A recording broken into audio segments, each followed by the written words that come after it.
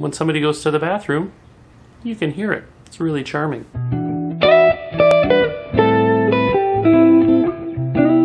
What's happening, everybody? It's Scott here from WFLBC, and I'm coming to you from the slightly revamped uh, studio space. I've adjusted the shelves up here. I got a new cabinet over here. I got new shelving over here.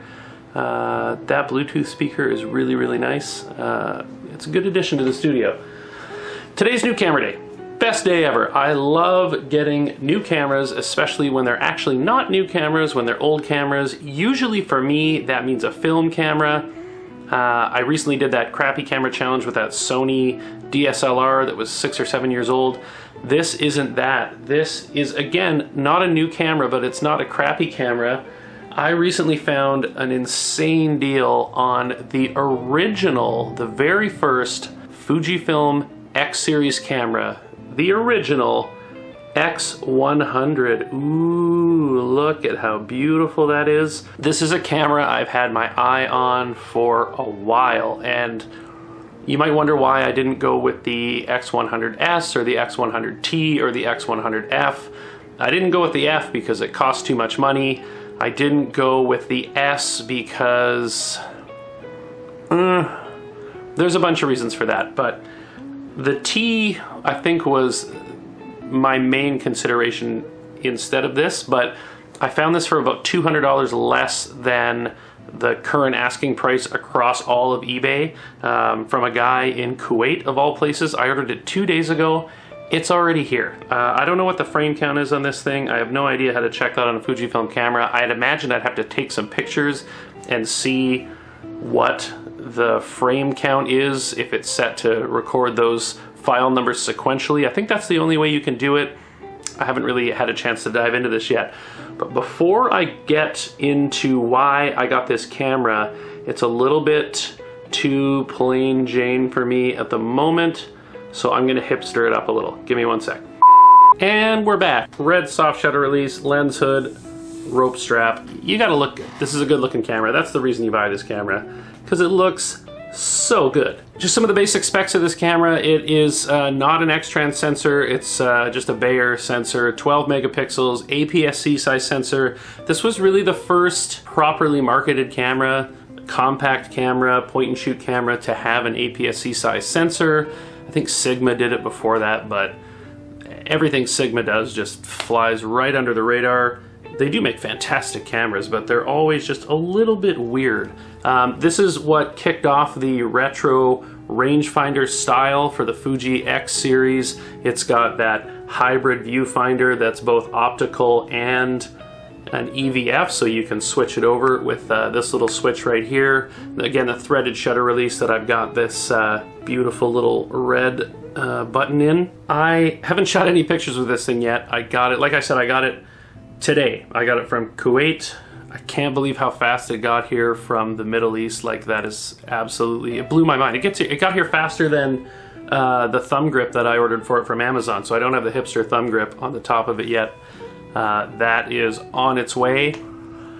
I just, I absolutely love the look of this camera. I'll link below. I tested out the X100F in Honolulu last summer and I loved the camera, but there were a few things I didn't. My wife's flushing the toilet. I see my studio's in my garage, and uh, the the plumbing pipes run right over there. And um, when somebody goes to the bathroom, you can hear it. It's really charming.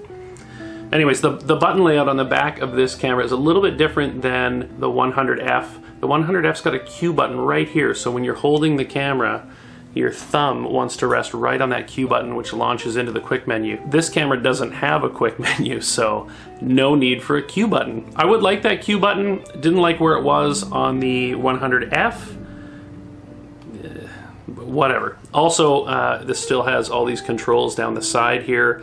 Everything on the 100F's been moved over here and this screen is shifted uh, to take up this whole side of the camera. I am so excited to shoot with this camera. You, you have no idea, you guys. I've wanted an original X100 for about three years, and I finally just found a killer deal on one, so I picked it up. One thing I will say about this camera, I am absolutely spoiled to death with the rest of my cameras and their short startup time. Watch the startup time on this camera, okay? I'm gonna I'm gonna turn it on.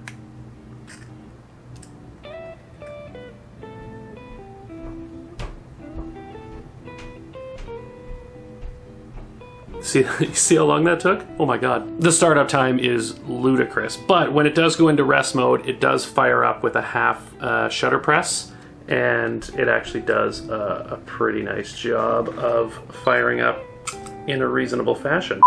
My wife was just letting the dog out. Having a, a place in my home to make YouTube videos, fantastic. Having it in the garage, less than ideal. I've never been as excited about any camera that I've ever bought before as I am about this X100. There's a big truck driving by. I, I also live on a busy street, so this whole studio setup, like I love it.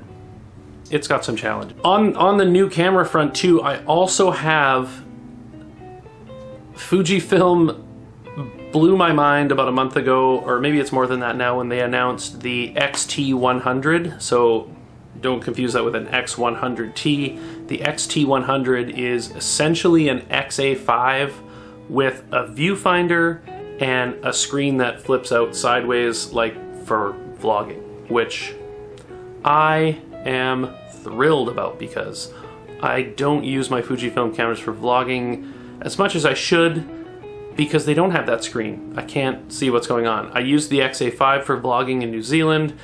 I had a weird uh, bracket set up, uh, like a flash gun bracket, so I could use the microphone to the side of the camera so that the screen could flip up and face forward. It flips up on the, on the top of the camera instead of to the side. This new one is going to be a much better setup for sort of run and gun vlogging. It's supposed to be here in a week or two. I want the champagne color. I've requested to review the champagne color just because it reminds me of uh, some super exclusive cameras from like the 80s. You know that that like Contax, those champagne colored uh, Contax cameras from. Uh, it's just it's such a cool retro color. It comes in black, dark gray, and champagne. So uh, I've requested the champagne, and because I've requested the champagne, it's taken a little longer to get here. I'm okay waiting. This is the camera that I've been hounding Fujifilm to make basically since I started this YouTube channel. I love my XA series cameras, and the fact that they made one with a viewfinder that has a flip out to the side screen, which I've also wanted forever, I'm ecstatic. Doesn't do 4K. Well, it you know what? It doesn't do 4K. 15 frames a second is not video. That's uh, that's an 8 megapixel burst mode. That is not video. Don't believe them when they tell you that it is. That's okay. Um, that's it, guys. I got. I have no like, no photos to show you. Nothing like that. I just wanted to sit down and show you guys uh, this camera. I'm gonna take it out this weekend and just shoot the streets. I'm gonna. I am gonna hit the streets in Vancouver. I've got to work a little bit downtown on Sunday morning, and then after that, I'm going to hit up uh, Granville Street, Gastown, Chinatown, and just see what this thing can do. I'm so excited. So, X100, original X100, 12 megapixel APS-C sensor, slow as molasses, hipstered out, right to the max. I will have my thumb grip on it by then, so don't worry in case you really wanted to see a thumb grip on here. I know some of you think that I'm just faking this whole hipster thing, and you'd be right. Thanks for watching. I will see you in the next one, which will probably be a review of a seven-year-old camera and or an unboxing of the XT100 hit that subscribe button, uh, like this video, leave me a comment below, but be nice though. A lot of jerks in the comments, I'm just saying. Uh, thanks guys, see you in the next one, bye.